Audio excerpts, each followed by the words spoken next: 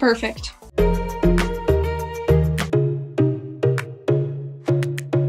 Hi, and welcome back to the first episode of Hey Alexia, It's Trending in 2021. Going into a new year, I thought that it would be fun to look back on trends in the last decade and cover some of the best ones, and even try to make some predictions of my own for ones we might see in 2021. Let's rewind and kick things off with a blast from the past. With all the new music that comes out every year, obviously there's gonna be one or two viral sensations in there. For example, Gangnam Style, Baby Shark, What Does the Fox Say, and Old Town Road, just to name a few. But the one that I want to remind you of brings us back to 2012 when the movie Pitch Perfect came out. It goes a little something like this. When I'm gone, when I'm gone. Haven't done that in a while. The cup song was everywhere. Kids and adults were all trying to learn it. It's like a TikTok challenge before TikTok challenges were even a thing. Speaking of challenges, a big challenge in 2014 that you might remember is the ALS Ice Bucket Challenge. This challenge was originally created by Pete Frates and Pat Quinn.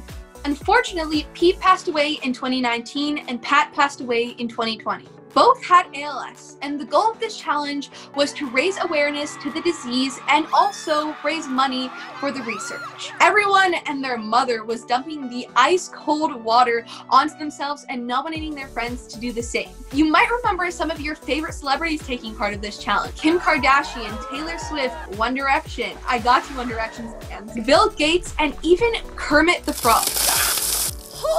The ALS Ice Bucket Challenge proved that social media can really bring people together, but it can also tear people apart, like dun dun dun, the dress. The dress in question went viral after a woman named Cecilia Bleasdale posted it on her Facebook. What color does it look like to you? Some people see it as blue and black, while others see it as white and gold. Everyone was debating this on social media, even celebrities popped in to give their opinions. Not to be controversial, but I personally see it as blue and black. Uh, no, it's definitely white and gold. What?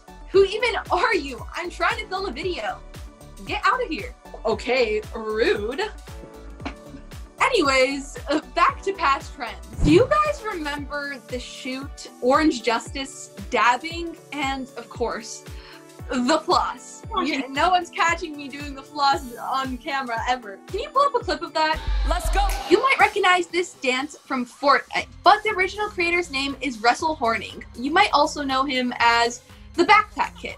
The floss started to trend in 2017, and Russell was even invited onto Saturday Night Live with Katy Perry to perform the dance. There's even been a song to come out about it. It's like, I be flossing. and there's been some complications with him and Fortnite. The legal drama is about whether Fortnite had the rights to use the dance in their game or not. Talking about drama and dances, a similar issue is happening on TikTok. It's an ongoing conversation about crediting the original creators of these dances. We saw this with one of the most popular dances, Renegade. The Renegade was a huge thing in the beginning of 2020. It was even performed at the NBA All Star Game.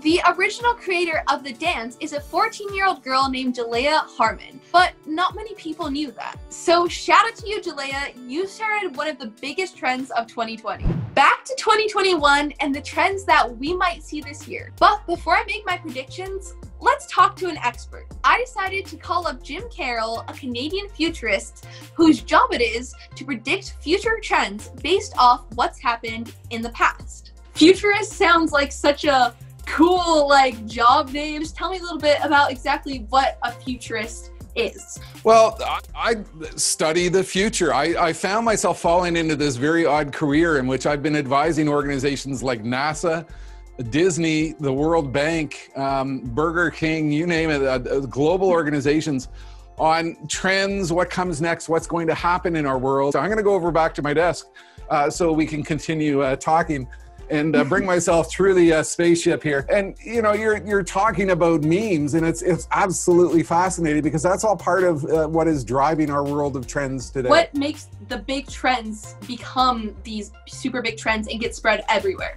It's part of this connectivity, and people use memes um, simply to drive humor. In other cases, um, you know, the Ice Bucket Challenge, for example, we want to feel good about our role in the world. We want to give back. We're all, on, all in this complex COVID world. We're all trying to cope every day. We're all trying to um, get in a headspace we can survive this. And so we are drawn to humor, little diversions uh, of time that help us to get through. TikTok itself has become a meme generating machine. TikTok videos are really short. They're 20 seconds, 30 seconds. They um, align to the fact that our attention spans have disappeared. Do you have any tips for me for predicting trends in 2021? You've got to track a lot of offbeat people. I think the challenge is a lot of people read information and follow information of people who are just like them. The more offbeat information you follow, the better. Become an information sponge, just an open mind and